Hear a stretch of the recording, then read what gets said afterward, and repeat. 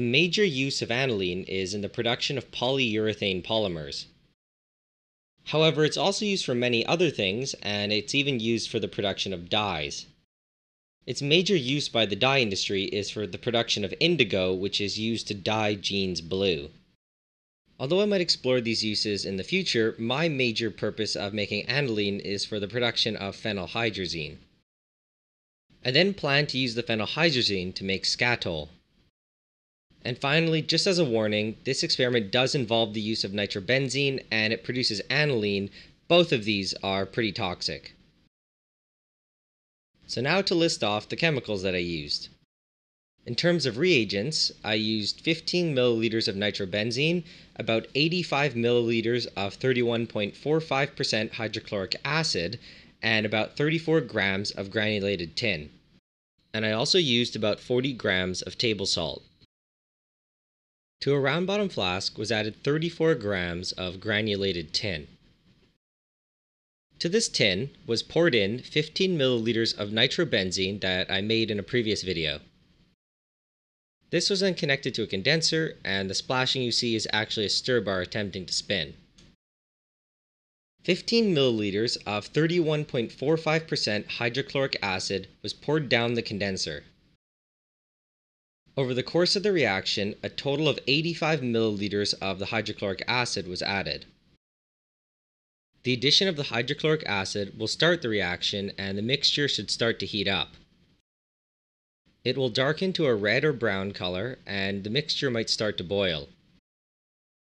This is fine, but if the reaction becomes too vigorous, it might need to be cooled using some cold water. If you ever need to cool it, be sure not to cool it too much and stop the reaction. You want to just make it so it's not as vigorous.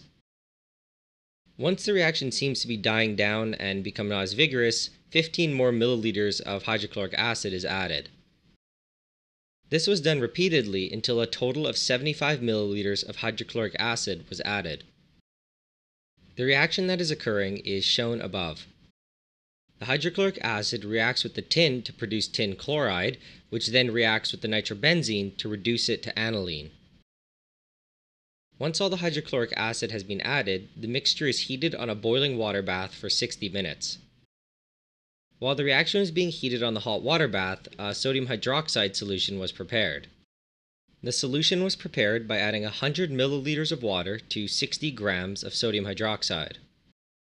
The solution was then stirred until all of the sodium hydroxide had been dissolved. To test if the reaction is complete, a little bit of the reaction mixture can be diluted in water. If it fully dissolves and produces a perfectly clear solution, this should indicate that all of the nitrobenzene has been consumed. If the reaction is complete, we can move on by slowly adding the sodium hydroxide solution to the reaction mixture. As more hydroxide is added, the solution will heat up and a precipitate will form.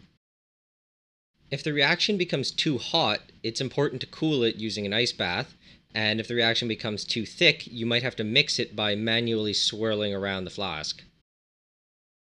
Either way, cool and mix as necessary, but do so until all of the hydroxide has been added.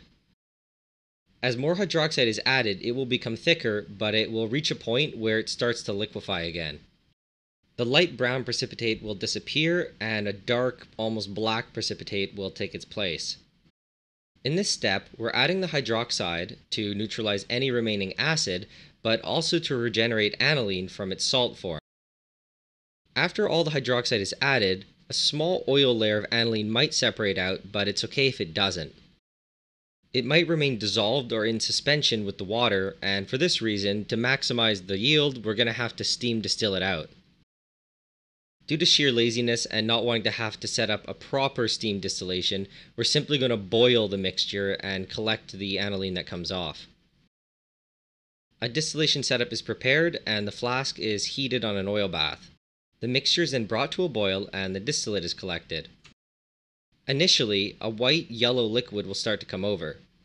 The distillate is murky because it's a mixture of aniline and water. Keep collecting the distillate until it becomes clear, which indicates that the vast majority of aniline has been already collected. However, because aniline is actually a little bit soluble in water, keep collecting 100 mils of the clear distillate.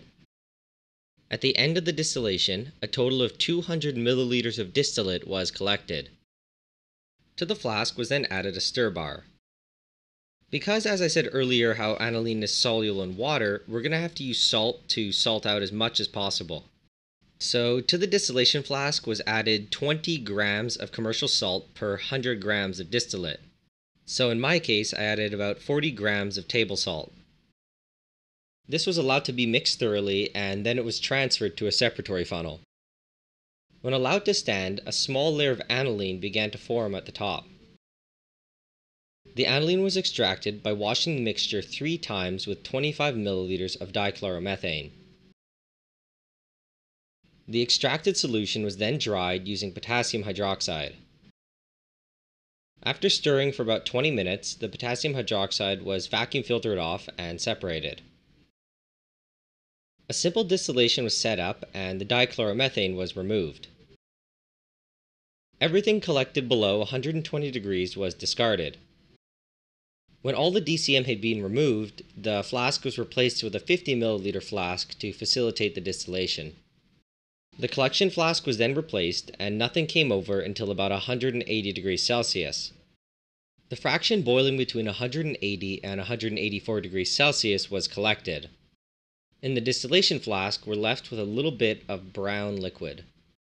The amount of aniline obtained came out to be almost exactly 10 milliliters.